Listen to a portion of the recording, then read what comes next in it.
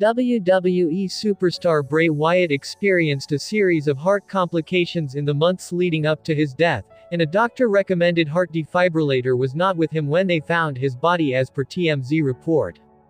According to law enforcement records, obtained by TMZ, Wyatt, real name Windham Rotunda, told his girlfriend he was going to take a nap Thursday, and she became concerned when she heard his alarm going off about and 60 minutes later without stopping.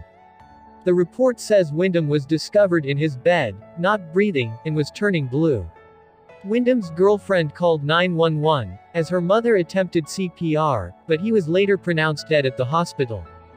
Cops spoke with Windham's immediate family members who said he had COVID in March 2023 and developed heart complications, causing him to have a weak lower part of his heart. In fact, just a week before he died, Windham was hospitalized for a heart issue. He had a follow-up appointment with doctors the morning he died and was advised to continue to wear an external heart defibrillator, a device designed to treat people experiencing sudden cardiac arrest. Though it's not known if the device would have saved his life, investigators determined Windham was not wearing the defib at the time of his death, they later located it inside his vehicle parked in the driveway. He was only 36.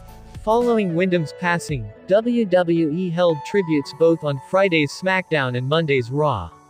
Other promotions including Impact, AEW, and NWA also paid tribute.